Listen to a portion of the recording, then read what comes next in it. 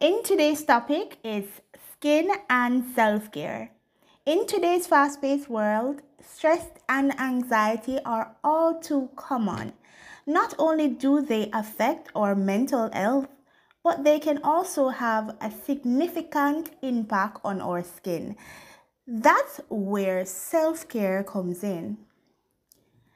Self care isn't just about indulging in spa treatments and bubble baths. It's about taking the time to help yourself, your physical and mental health.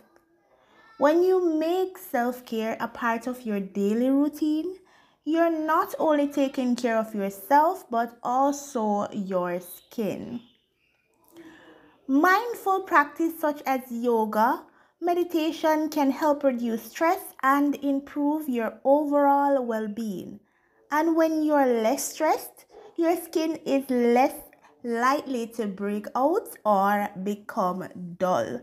So, for those who have acne, maybe you have, yeah, stress. Everybody do have a little stress. Additionally, taking care of your skin through a consistent skincare routine can help you achieve that healthy, glowing complexion you're being dreaming of. When you take the time to cleanse, moisturize, and protect your skin, you're giving it the nourishment it needs.